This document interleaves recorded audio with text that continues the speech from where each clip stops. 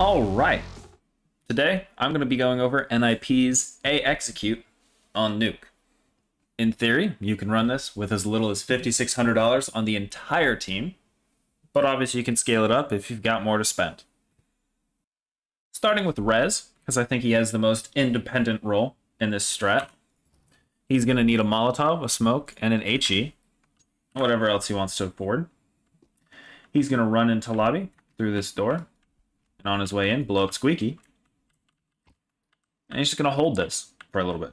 Make sure that nobody's pushing in quick off the back of that grenade. Jiggle it a little bit. Throw in a little jump. Bait out any shot from an op that might be in mini.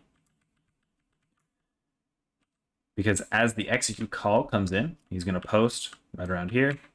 Throw this smoke into mini. And then throw this Molotov into Asian. Then he'll either entry out Squeaky, or if counter utility has come in and landed in front of this door, he'll backpedal through lobby and meet up with Linus and Plopski to go out hut. Next up on the list, we got Plopski. Plopski needs to buy two flashbangs, at least some base level armor, and whatever pistol he feels comfortable entering with. This can be scaled up to a rifle or any other gun, if this is more of a full buy round. He's going to run up, climb this ladder to get up on the T roof. And once he does, he's going to walk over these pipes, look about right there, throw his flashes up next to that marshmallow. He's going to go down the ladder, post in hut just like this, to make sure nobody's aggressive. Then, once the execute call comes in, he's going to entry out hut, crossing to the front of site, pre-aiming Asian for anybody who might be flushed out by the Molotov, anybody playing by Tetris, anybody top hut, and then push forward to clear anybody who might still be lurking around these corners in vent. Once this side of the site is clear, then he can turn around and start to deal with anybody who still might be by Camaro, Mustang, the back rafters, or pushing out from heaven. Next on the list, we've got Linus. Linus is going to buy pretty much the exact same stuff. Two flashbangs, least base level armor, and whatever pistol he wants to enter with. Again, can be scaled up based on how much money you're trying to put into the round. He's going to run out of T-spawn, climb the ladder to get up onto T-roof. He's going to walk up to this ladder, drop his two flashes right there, and then meet up with the boys in lobby, holding about right here to make sure nobody's aggressing from ramp. Then when the execute call comes in, he's going to follow Plopski out, crossing to the front of the site, clearing the same angles, and then turning around once that side of sight is clear. Now we've got Device.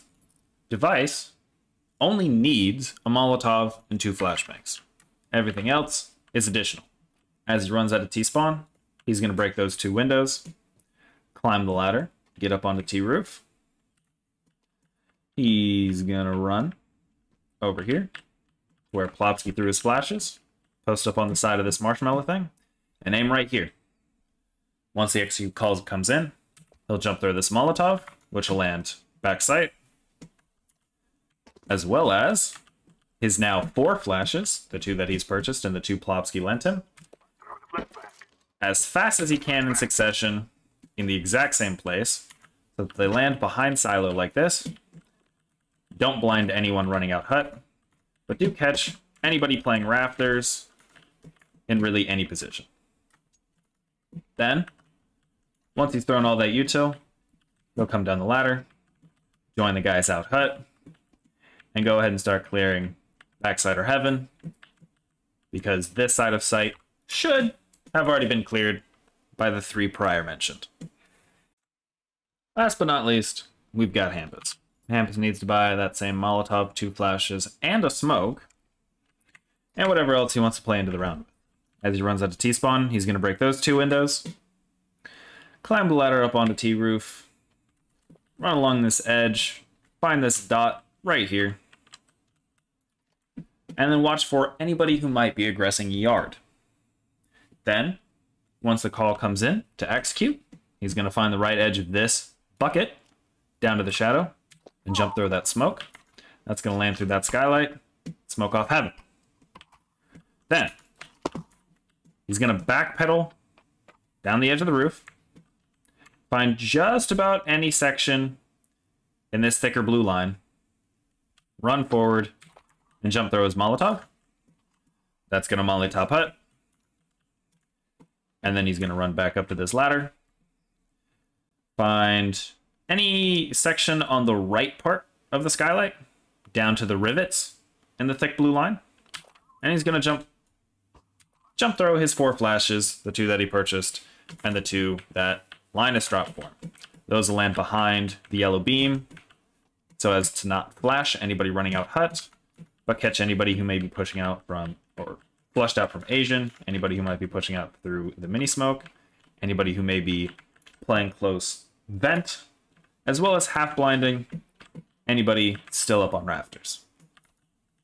From there, Hampus has two options. Either he can go ahead and hit kind of a late flank off silo and catch people who may be in mini waiting out this smoke, or he can go ahead and drop into lobby and play an angle like this to catch off anybody who may be aggressing from ramp and trying to set up in lobby for retake. That about covers everything you need to know to run NIP's A Execute on Nuke. Thanks for watching, and I'll catch you guys next time. Peace.